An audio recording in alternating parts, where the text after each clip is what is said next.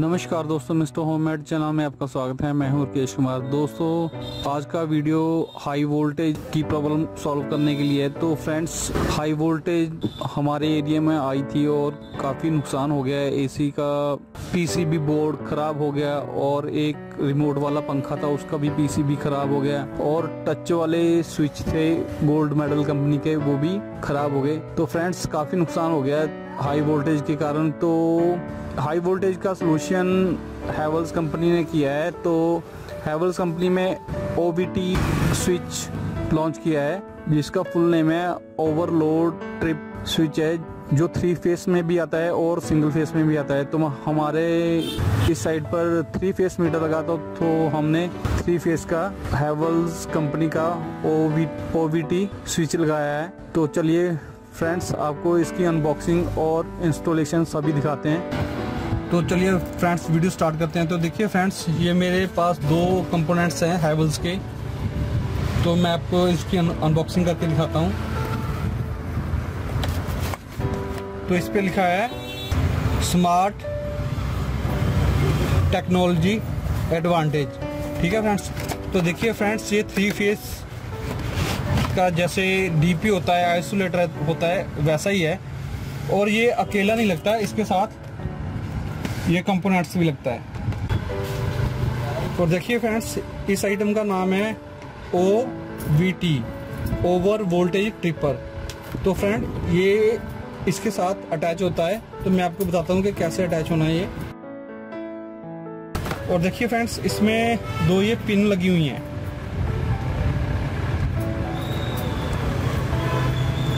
ये शॉपकीपर ने दोनों साइड इस साइड डेट डाली हुई है। तो ये ऐसे अटैच हो जाना है इसके साथ। ठीक है फ्रेंड्स और अगर ओवर वोल्टेज होगी तो ये अपने आप ट्रिप हो जाएगा और हमारी जो इलेक्ट्रिसिटी के कारण घर में नुकसान होता है कंपोनेंट्स ख़राब हो जाते हैं एसी फ्रिज पंखे आदि वगैरह, वो ख़राब नहीं होंगे। तो फ्रेंड्स इनका मैं आपको प्राइस भी बता देता हूँ। इसका प्राइस है three thousand eight hundred ninety eight rupees ठीक है फ्रेंड्स और इसका प्राइस भी मैं आपको बताता हूँ। इसका प्राइस है three thousand five hundred forty two rupees लेकिन फ्रेंड्स हमें ये दोनों कंपोनेंट्स जो हैं, वो four thousand one hundred eighty rupees में मिले हैं। तो आप अंदाज़ा लगा सकते हो तो कि इसमें कितना लेस मिलता है। तो रिटेल शॉप से हमने ये परचेज़ किए हैं। ऑनलाइन ही लिए हुए। और देखिए फ्रेंड्स इससे कनेक्शन कैसे करने हैं, मैं आपको बता देता हूँ। ये देखिए एन लिखा हुआ है। इसको उतार लेते हैं यहाँ से। एन फॉर न्यूडल और C three C two C one तो ये देखिए सी वन पर पॉजिटिव लगनी है। थ्री फेस का है ना? पहला फेस सी वन पर दूसरा फेस सी टू पर और तीसरा फेस सी थ्री पर आएगा। और नेगेटिव है जो, यो वहाँ पे आएगी। तो यहाँ पे दोनों फेस लगने हैं और एक यहाँ पर फेस लगना है और एक न्यूडल इस साइड लगनी है। तो मैं इसको मेन बोर्ड में लगाकर आपको बता दूँगा कि कैसे आपने इसके कनेक्शन करने हैं। ठीक है फ्रेंड्स तो चलिए, इसकी इंस्टॉलेशन स्टार्ट करते हैं। और फ्रेंड्स ये डिस्ट्रीब्यूशन बॉक्स में भी लग सकता है। जैसे डबल डोर डिस्ट्रीब्यूशन बॉक्स आता है। लोहे का और प्लास्टिक का भी आता है सिंगल डोर। लेकिन हम इस पे एमसीबी लाइन पर, जो चैनल होता है एमसीबी लगाने वाला, उसी चैनल पर इसको फिट करेंगे। तो चलिए स्टार्ट करते हैं इसकी इंस्टॉलेशन। ये देखिए फ्रेंड्स, हमने ये एमसीबी चैनल ले लिया है। ये पत्ती इसे एम लगाने वाली पत्ती बोलते हैं और चैनल भी बोलते हैं। लेकिन हमें इसको कटिंग करके यहाँ पर ऐसे लगा देना।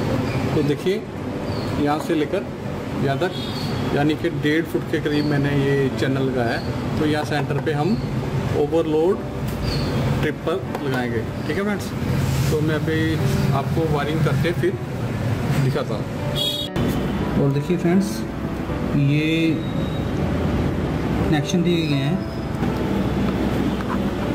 यहाँ पे नेगेटिव लगेगी और वन फेस टू फेस और थ्री फेस और फ्रेंड्स ये जो दिए हैं, ये यहाँ पे लगने हैं। यहाँ पे नेगेटिव लगेगी।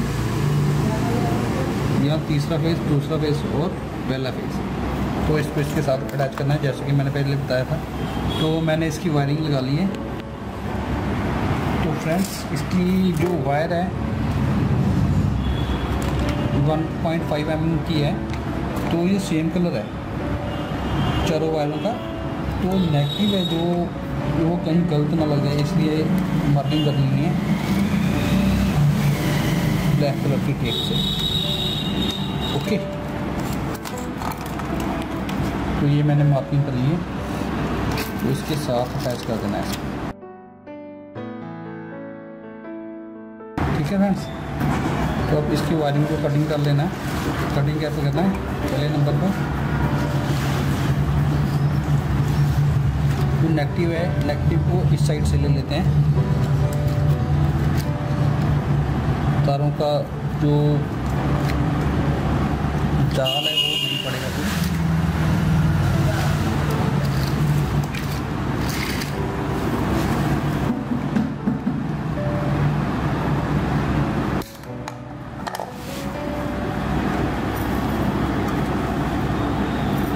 है फ्रेंड्स और जो तीसरा फेस फेस है वो भी इस साइड ही रख लेते हैं।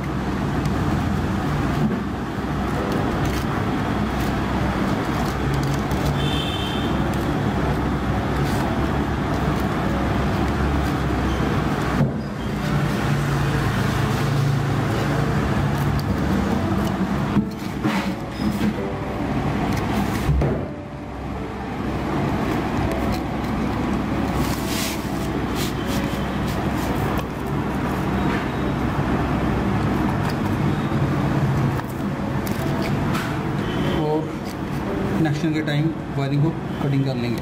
तो ये दो जो फेस हैं वन और टू इस साइड टू जाने।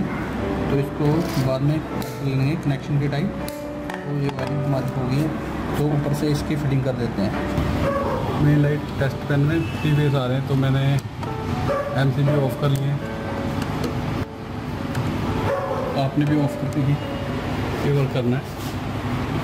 ठीक है फ्रेंड्स देखिए फ्रेंड्स हमने ओवर वोल्टेज ट्रिपर लगा दिया है।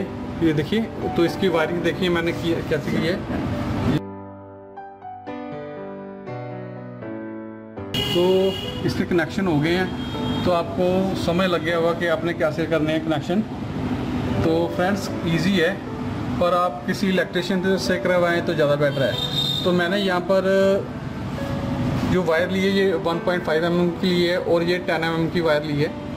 ठीक है फ्रेंड्स ये सारी 10 mm की वायर है।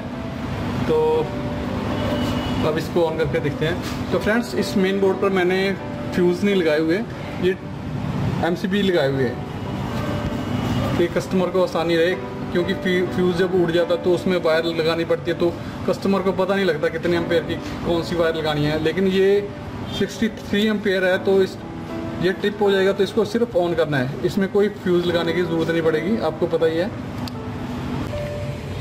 और देखिए फ्रेंड्स, ओवर वोल्टेज ट्रिपर की हम आपको टेस्टिंग करके दिखाते हैं। तो ये जो तीसरा फेस है इसमें, ज़्यादा वोल्टेज आ रही है, जिसकी वजह से ये ट्रिप हो रहा है। तो मैं आपको चेक करवाता हूँ तीनों फेस की वोल्टेज। तो देखिए इधर मल्टीमीटर में 750 वोल्ट पर अल्टरनेटिव करंट पर। ये मल्टीमीटर सेट किया है और एक वायर इसकी नेगेटिव में लगाई हुई है। ये देखिए। और फ़र्स्ट फेस पे लगाते हैं। और देखिए 226 वोल्ट आ रहे हैं 25 और 26 वोल्ट आ रहे हैं। ठीक है। और दूसरे फेस पर दस बीस, इक्कीस, ऐसे आ रहे हैं। ठीक है फ्रेंड्स तो तीसरे फेस पर नीचे से चेक करते हैं। ये बंद किया हुआ है। तो ये देखिए। 250 बवंजा, ऐसे आ रहे हैं। ढाई सौ के करीब वोल्टेज आ रही है। ऊपर ही आ रही है एक टू पॉइंट तो देखिए, जब मैं इसको ऑन करूँगा तो ये ओवर वोल्टेज हो जाएगा। ठीक है फ्रेंड्स और देखिए, दो सौ बवंजा वोल्ट पर ये ट्रिप कर रहा है। तो ये बिल्कुल सही काम कर रहा है। आपको मैंने टेस्टिंग करके दिखा दी है। अब इसको मैं ऑन कर देता हूँ। ये तब तक ऑन नहीं होगा जब तक ये वोल्टेज बंद नहीं होगी। ये देखिए, ये ऑन नहीं होगा। तो इसे बंद करें, फिर ऑन होगा। ठीक है फ्रेंड्स दोस्तों, अगर ये छोटी सी जानकारी आपको अच्छी लगी तो प्लीज़ वीडियो लाइक करें शेयर करें और कमेंट करें। और कमेंट करके बताएँ कि इस वीडियो में आपको क्या अच्छा लगा क्या नहीं अच्छा लगा वीडियो देखने के लिए बहुत बहुत धन्यवाद। Thank you friends